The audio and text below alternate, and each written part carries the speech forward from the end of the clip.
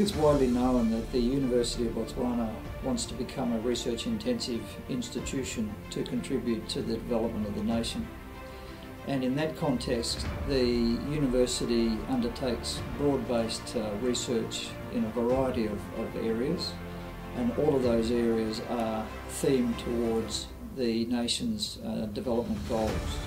In particular, we have five research themes. These are energy, water, food, environmental sustainability and health.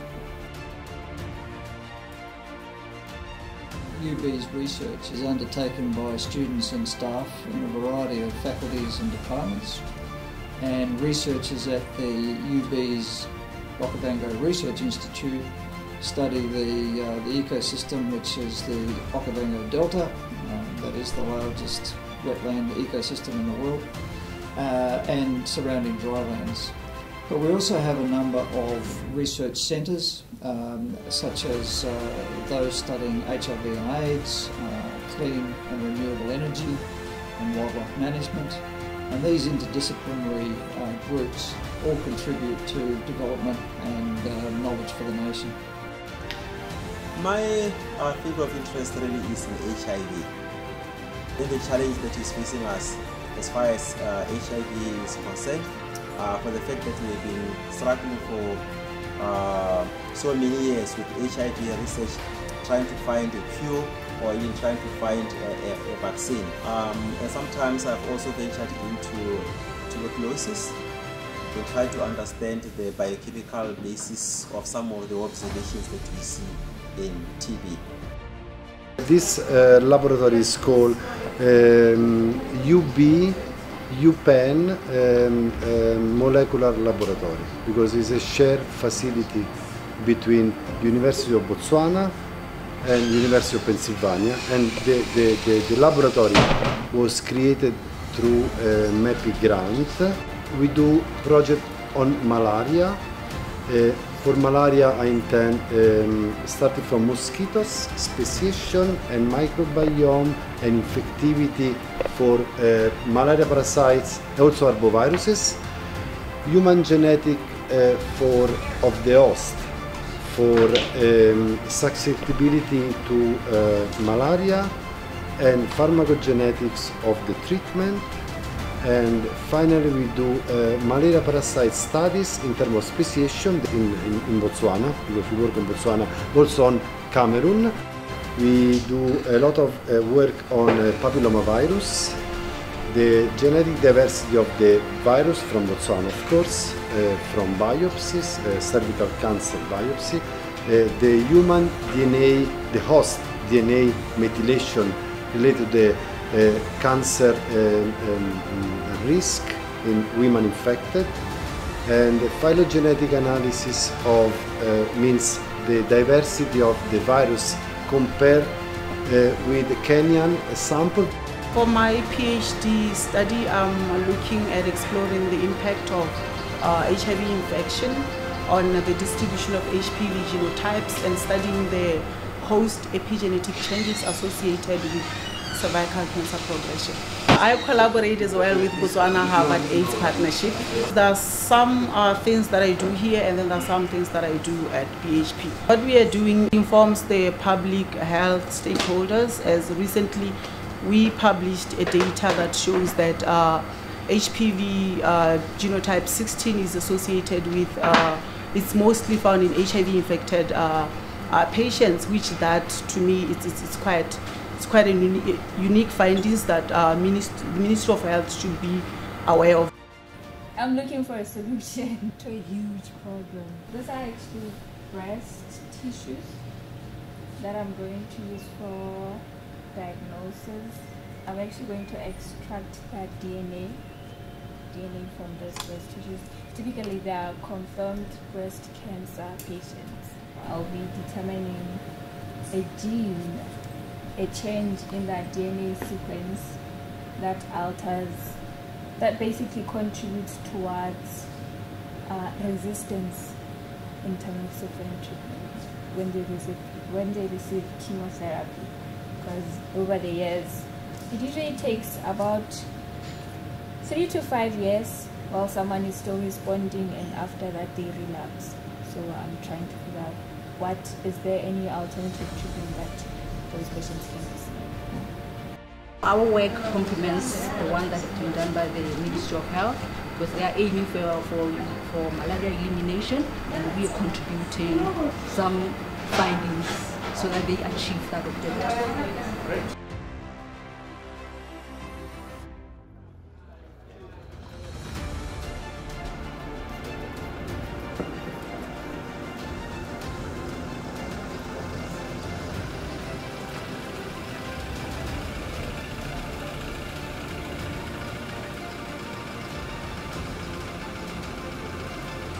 This project is uh, sponsored by the Department of Energy.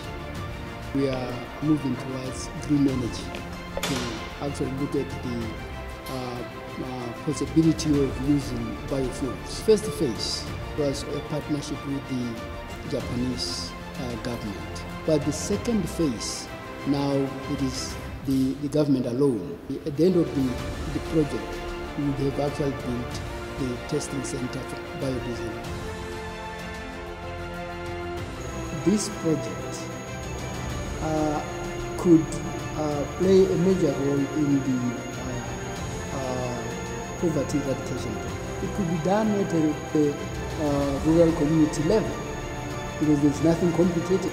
If we identify communities and provide them with all what is needed, they can produce their own biodiesels within a community and use it for agriculture purposes.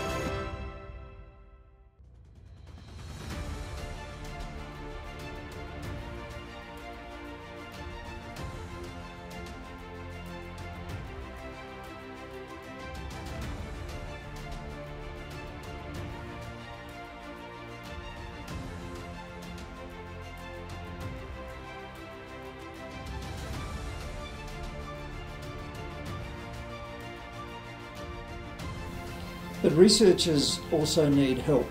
They need to uh, have their research managed, and that's really where the Office of Research and Development, or ORD as it's often known, comes in. ORD is like the hub of a wheel. Uh, it's it's the centre of the, the research process, but those spokes of the wheel go out to the researchers in the faculties and the departments. So in that context, ORD has a director and deputy director for overall management uh, of the uh, the office and for the uh, for the processes that occur in the office. And then there are four key areas where the uh, office operates. We support researchers with everything that has to do with funded research, be it internally funded research or externally funded research. Our role is to make sure that we know what the funder expects in terms of are you eligible as an entity, can you meet the donor's expectations. There's a need uh, for funding to buy special equipment and sometimes even to build up a team uh, of appropriate you know, professional and technical persons that must uh, perform the appropriate experiments.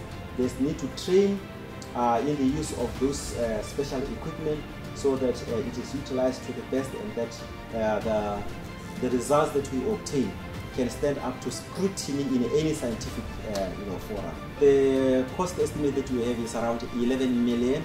Running a lab is extremely expensive. Exactly. We, we pay around 64,000 rands for the BSc, the hoods, to obtain them. Monthly, we spend at least $10,000 we offer a wide range of advice to our researchers, to our external stakeholders. Whole aim is to have university research advance towards technology and knowledge transfer and commercialization of outputs from our research. We um, provide advice and assistance to researchers to help them identify potential intellectual property from their research. If you come up with new information, the edge is to share that with the other your colleagues in the international community. It turns out that also Uh, by so doing, once we have shared the information and it has become commonplace, uh, that you can no longer claim any uh, intellectual property you know, uh, rights on that. The other major role we play uh, is that of facilitating access to the university expertise, the university facilities, and other cap- capabilities to industry and uh, community partners who wish to utilize, uh, uh, to tap into the knowledge base that the university possess. Uh, so we, that can be in the form of contract research, collaboration where they work together as mutual partners in a research project. Uh, it can also be consultancy. Uh, when speaking about your, your, university research, you are really talking about uh, the outputs and its impact. And that output and impact depends on the quality for it will be used by those who will use it. And I said, University of Oxford, we have been a major contributor to the national uh, research in terms of the total collective output. Uh, when we talk about quality, really, we are talking about knowledge that has been okayed or peer reviewed and uh, accepted by the peers in the research community. And that research is the research that is trusted. Uh, the research ethics unit is the responsible coordinating four committees. Uh, one which reviews research that involves human subjects, then the one that reviews research that deals with uh, animal care and use, and the one that deals with chemicals and hazardous materials. Uh, in addition, we have a research risk committee which deals with looking into uh, research misconduct before you start research, you've got to apply for ethical clearance, and that is usually efficiently done by our uh, Office of Research and Development. And then after they have screened our applications, these are referred to the Ministry of Health, where they also do the screening. And then uh, it goes to the facility, if it is a hospital like say Marina or one of the clinics, then uh, we also have got to get uh, ethical clearance from that clinic. And then ultimately you've got to have the the informed consent from the participants. ORD uh, facilitates research rather than undertakes research on its own behalf.